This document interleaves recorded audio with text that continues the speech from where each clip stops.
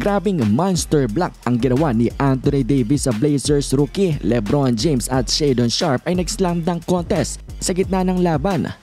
No starting lineup para sa Lakers, Reeves, Schroeder, Beverly, LeBron at AD.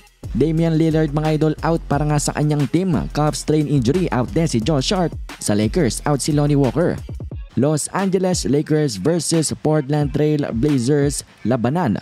First quarter quick start para nga sa Portland while slow start naman ang ginawa ng Lakers. 12 to 4 ang scoring. Ang early zone defense ng Portland ay talaga namang nagpahirap sa Lakers. 4 out of 15 nga sila sa field, 26% pero onti-onti nila itong kinayod at eventually natayang laban to 17.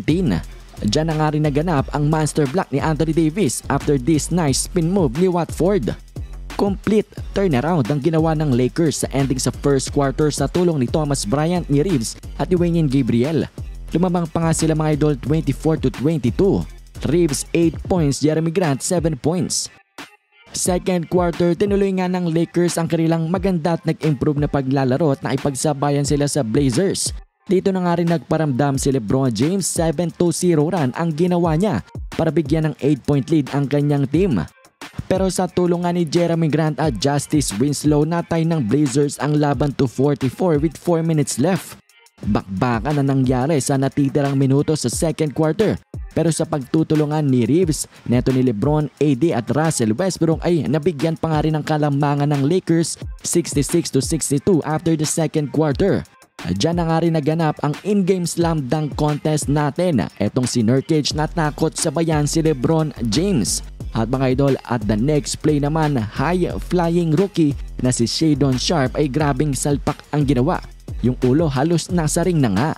After ng buzzer beater 3-pointer ni Ras, umpisa na ng third quarter natin. Lakers surprisingly na pinagpapatuloy ang kanilang magandang paglalaro. Solid defense at magandang galaw ng bola ang kanilang sikreto na nagre-resulta nga sa high percentage shots. Dito na nga rin naging sampo ang kanilang kalamangan with 7 minutes left kasama pa dyan ang half spin move crossover ni Reeves iwan si Winslow. Lebron James smelling blood in the third quarter 5 more points Lakers 15 point lead na. Ang magandang ginawa ng Lakers sa ending ng third ay pinanatili nila ang kanilang lamang. Westbrook hindi pa nga nakontento sa isang buzzer beater. Isa pa nga daw buzzer beating 3-pointer almost sa half court 97 to 82 after 3 quarters. Fourth and final quarter, Lebron is not cooling off. 6 points and 4 assists at lahat ng kanyang assists either easy 3-pointer or easy paint points takeover mode nga etong si LBJ sa umpisa ng last quarter.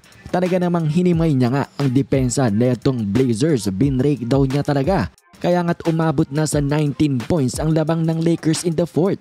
At matapos nga ni Lebron James ay si Anthony Davis naman daw. Ayaw niya ngang magpauli. Kaya naman 8 straight points ang kanyang ginawa para officially nang panalo at pauwi ng Blazers. Final score 128-109. Lebron James, what a performance, 31.7 rebounds, 8 assists, 66% sa field, 75% sa mga 3-pointers. AD 27 points, 12 rebounds, Reeves with 22 points. Sa kabilang team si Grant ay may 27 points at si Simons ay may 22 points.